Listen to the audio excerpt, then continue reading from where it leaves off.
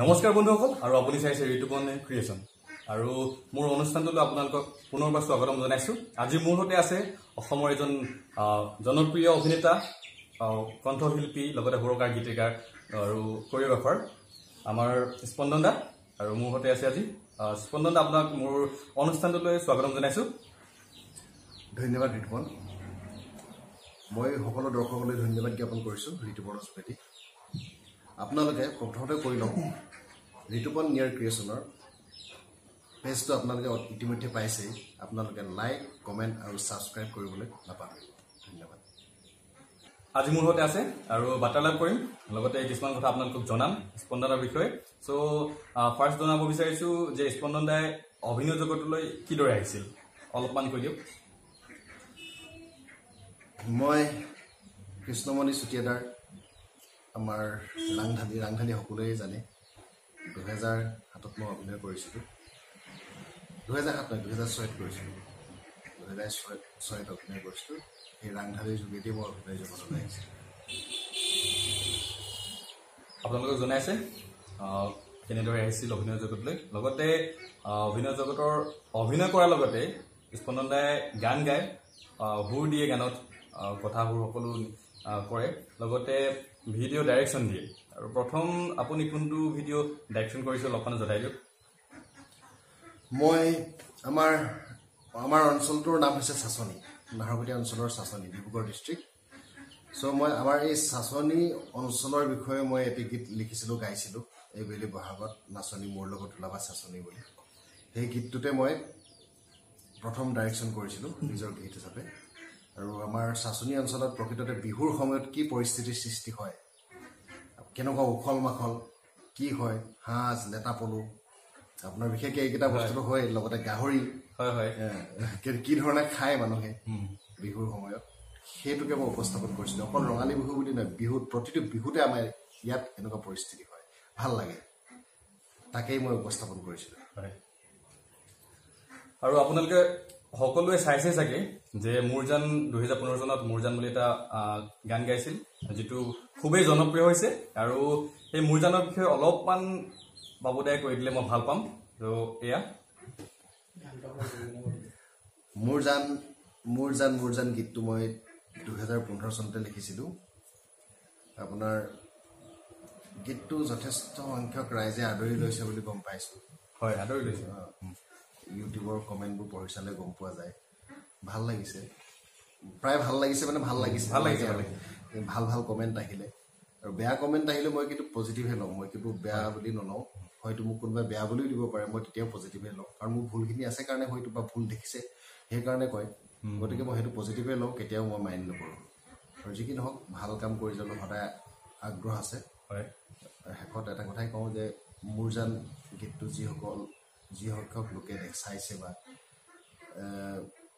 ভাল পাইছে তেখেতলোকক ধন্যবাদ জ্ঞাপন কৰিছোঁ আৰু যিসকলে চোৱা নাই এতিয়াও ইউটিউবত ঋতুপনে লিংকটো দি দিব শ্বেয়াৰ কৰি দিব আপোনালোকে চাব চাই কমেণ্ট দিব কিবা ভাল লাগিব। ধন্যবাদ। মই বাবুদাৰ প্ৰত্যেকটো গানৰে লিংক তলত দি দিম ডেছক্ৰিপশ্যনত দি দিম লিংকটো আৰু আপোনালোকে চাব পাৰিব। কেনে পালে জনাব প্ৰায়সকলে চাইছে চাগে আৰু যিবোৰে নাই চোৱা সেইসকলকো অনুৰোধ জনাইছোঁ চাব। লগতে এই চন এই বৰ্ষতে ৰিলিজ দিয়া অন্য এটা গান জনপ্ৰিয় গান হৈছে আই ডণ্ট কেয়াৰ আৰু আই ডণ্ট কেয়াৰ গীতটোৰ বিষয়ে অলপমান জানিব বিচাৰিছোঁ। আই ডণ্ট কেয়াৰ আপোনালোকে আই ডণ্ট কেয়াৰ গীতটো যথেষ্ট মোৰ জানতকৈ যথেষ্ট সংখ্যক লোকে শুনিছে মই যিটো গম পাইছোঁ।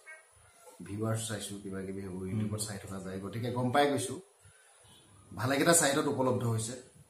আপোনাৰ সেই হিচাপত চালে যথেষ্ট হৈছে বাৰু সেইকাৰণে গম পাইছোঁ। মানুহৰ যি মানুহে যিধৰণে আদৰি আদৰি লৈছে বহুত ধন্যবাদ জ্ঞাপন কৰিছোঁ। বিশেষকৈ গীতটো সংগীত ব্যৱস্থাপনা কৰিছে আমাৰ আকাশ প্ৰীতম ভাইটি। কথা সুৰ মোৰ আমি দুইজনে গাইছোঁ ৰেপ অংশটো মই গাইছোঁ বাকী দুইজনে গাইছোঁ। গানটো আল্টিমেট ভাল হৈছে বুলি মোৰ দৃষ্টিত সম্পূৰ্ণ নহ'লেও এটলিষ্ট ভাল হৈছে বুলি ভাবিছোঁ কিন্তু দৰ্শকে ভাল পাইছে বুলি। গম পাইছোঁ আৰু যি তলত মই চব পঢ়িছোঁ পঢ়িছোঁ। যে পজিটিভ নিগেটিভ যিবোৰ দিছে মই আগতে কৈছোঁ। নিগেটিভ দিলেও মই পজিটিভেই লওঁ কাৰণ মোৰ ভুলটো দেখিছে কাৰণে। আৰু সেইটো কাম মই যাতে নকৰোঁ সেইটোকে মই চাওঁ। গতিকে মই নিগেটিভবোৰ দিলেও সেইটো মই খুব ভালকৈ লওঁ। পজিটিভটোতকৈ মই নিগেটিভটো বেছি ভাল কৰি লওঁ তেতিয়াহে মোৰ শুদ্ধটো ভুলটো শুধৰাব পাৰিম বুলি মই আশা ৰাখোঁ। মই তেনেকৈ চাই গৈছোঁ। আৰু আই ডোণ্ট কেয়াৰ গীতটো যথেষ্ট ভাল হৈছে বুলি ৰাইজৰ হেৰিটো পাইছোঁ। গতিকে মই সুখী হৈছোঁ যথেষ্ট। ধন্যবাদ। আপুনি যে ইমান ধুনীয়া ধুনীয়া গীতবোৰ ৰাইজক দি আহিছে জনপ্ৰিয় হৈছে বহুতখিনি। আৰু আপুনি গান লিখিবলৈ কোনটো সময় বাছি লয় বা ক'ত গান লিখে? অলপমান জনাই দিয়কচোন ৰাইজে ভাল পাব শুনি। মোৰ গান লিখা টাইম ঢেৰ।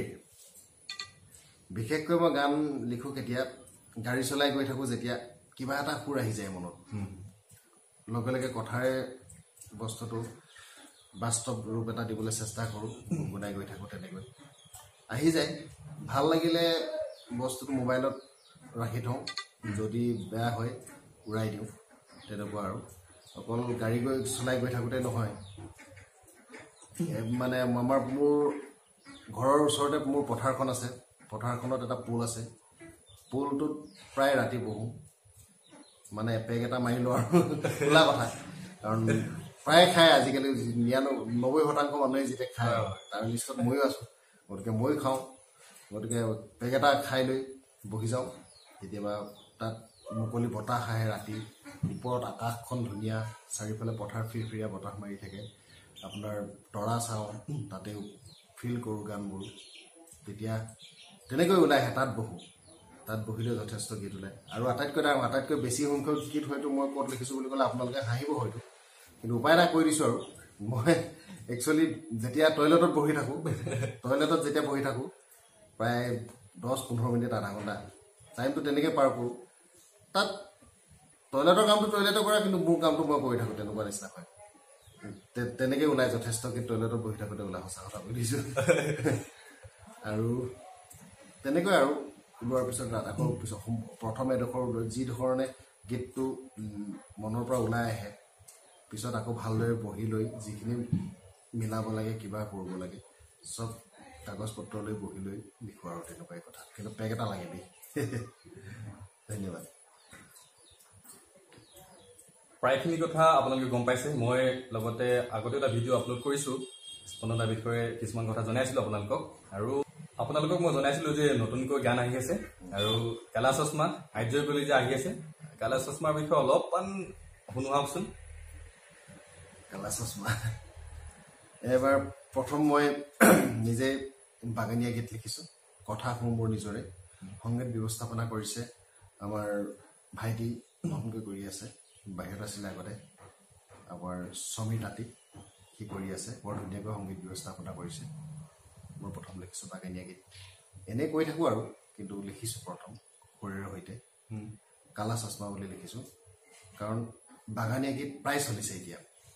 প্ৰথম কৃষ্ণদাৰ চলগৰিৰ পিছত যথেষ্ট গীত আৰু চেলফি আকৌ আপোনাৰ কুচুমৰ মিনি চব চলি গৈছে। গতিকে ভাবিছোঁ যে হয় কোনে বৰ সকলোৱে শুনে মই ভাল পাওঁ সকলোৱে ভাল পায়। গতিকে মোৰ ইচ্ছা হৈছিলে আৰু প্ৰতিজন শিল্পীৰ হয়তো ইচ্ছা হয় ভাল গান এটা কৰিবৰ কাৰণে। ঠিক তেনেকৈ কালা কালা কালা চশমা বুলি এটা কালা কালা চশমা। কালা কালা চশমা বুলি বাগানীয়া গীতটো লিখিলোঁ।